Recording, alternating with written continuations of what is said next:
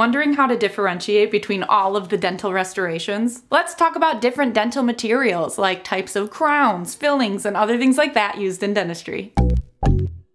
Hi, my name is Whitney and I'm a dental hygienist here to talk about dental materials. Now, if you want to learn all about general dental terminology, tooth morphology, the surfaces of the tooth, and the tooth numbers, be sure to check out that video of mine. I'll link in the description box. But for the purpose of this video, we're going to be talking about all of the different types of restorations in your mouth and how to determine the differences between them when both charting and looking at x-rays. Let's start with fillings. Simply said, you can have a silver filling, also known as an amalgam filling, or a tooth tooth colored filling, also known as composite or resin. The silver amalgam fillings tend to appear bright white on x-rays, whereas the tooth colored composite resin fillings tend to appear whitish, but not as bright white. You can see the difference here. Something interesting to note is sometimes with composite fillings, they might appear dark instead of light. It's often hard to tell between a cavity and a tooth colored filling if it looks like this. It's more likely to be a filling if the margins are smooth like this, but not always. It can also be a chunk of tooth that is missing. So just something to be aware of. Always double check clinically. And one more thing about fillings, sometimes they are called bondings, especially if they are for the front teeth. Again, as you can see right here, one is radiolucent and one is radiopaque. I have a whole video about bondings if you'd like to learn more, but quick recap. In addition to filling in teeth, filling material can also technically be used to build up teeth, such as in some types of veneers, which we'll get to in just a second. But first, let's talk about crowns. The generalized three different types of crowns are full metal, porcelain fused to metal, also known as PFM, and all ceramic, sometimes called all porcelain, sometimes EMAX or zirconia. So for the full metal crown, similar to silver fillings, they are going to look bright, super bright white. The entire crown of the tooth will be bright white on an x-ray. And usually the outline is pretty uniform. It's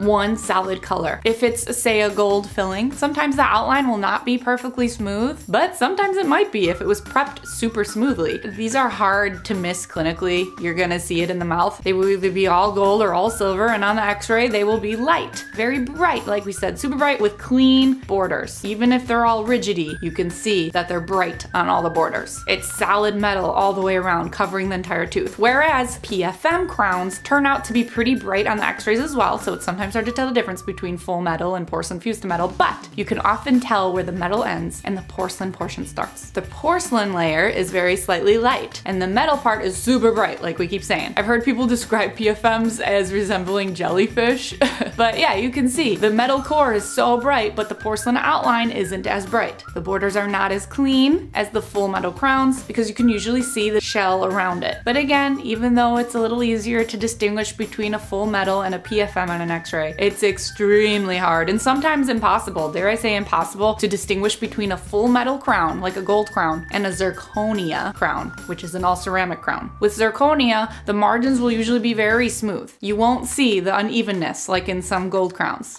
So that's my one tip. But my best advice, you'll never get it wrong if you always double check clinically, right? Look in the mouth because then you'll easily know if it's full metal, it's going to look all silver or all gold. And PFM is going to look tooth colored, but if you check the margins, sometimes you will see the metal showing through. And if you can't see the margins, they aren't visible clinically, then you gotta rely on the x-ray, right? And now back to zirconia. When we're talking full ceramic crowns, a full tooth colored crown, lots of them will actually look like this, all squiggly. Still a lighter color than enamel, but usually it's foggy or squiggly in appearance. And maybe you'll only kind of see the one line or a couple lines, usually the all ceramic EMAX ones. However, like I said, the zirconia can totally look like a gold crown in an x-ray. So again, I can't stress enough how important it is to always check clinically if you are charting the dentition. Next up, inlays and onlays. They work similar to crowns, but they do not cover the entire crown of the tooth, only a few surfaces of the tooth. So an inlay usually will fill in cavities and hollows in a tooth between the cusps. Oftentimes it's a lab fabricated filling, and an onlay will not only fill in the cavities, but they can also include the cusps of the tooth. So it's almost like a three-fourth crown. Oftentimes nowadays, lots of dentists like to opt for the full crown because there's a less chance of needing to replace it again in the future. However, if you're really trying to preserve as much tooth structure as possible, the onlay instead of a crown is sometimes an option. It just depends on the individual situation. Pause for a quick dental announcement. If you like teeth and you want to learn even more about teeth, I now have a weekly Toothy newsletter. There's a link in the bottom bar if you want to sign up to receive toothy tips in your email each week. Things like how to afford the dentist, teeth whitening hacks, we tackle all the dental questions that you may have and I hope to see you there. Now, back to the video, back to dental materials. Next up, sealants. Oftentimes not visible on an x-ray. Maybe sometimes if they really globbed it on the occlusal plus did an enamelplasty beforehand,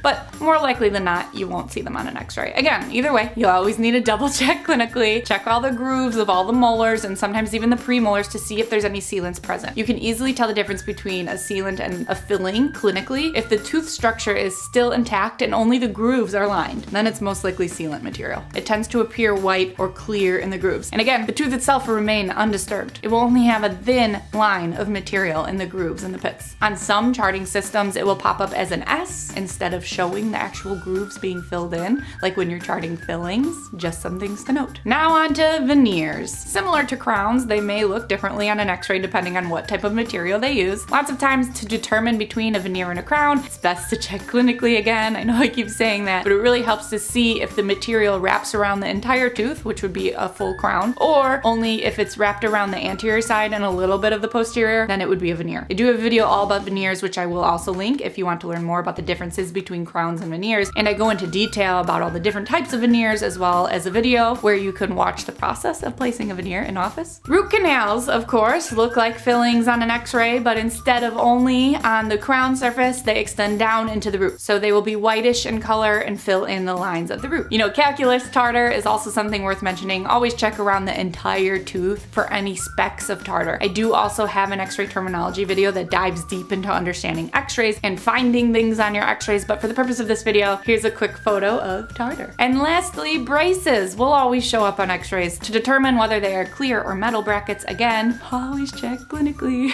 I think the theme of this video is clearly that if you want to properly chart the mouth, be sure to check both clinically and radiographically to confirm everything, right? And that goes with everything in dentistry. To confirm a cavity, the dentist checks with both an x-ray and a clinical exam to check for gum disease. We take x-rays and a clinical assessment with probings, right? So hopefully it was a nice refresher reminding you that you always need a combination of evidence to determine what's going on in someone's mouth. And please feel free to comment below if you have any other advice for those looking to enter the field of dentistry or those who are just interested in knowing what's going on in their mouth at their dental appointments. I'll link everything I mentioned earlier in the description box and I hope this video helped you. Please like, subscribe, and turn on your notifications if it did. If you want even more teeth talk, be sure to visit my website, teethtalkgirl.com, sign up for my newsletter, and hang out with me on Instagram at Teeth Talk Girl. Peace, love, and teeth.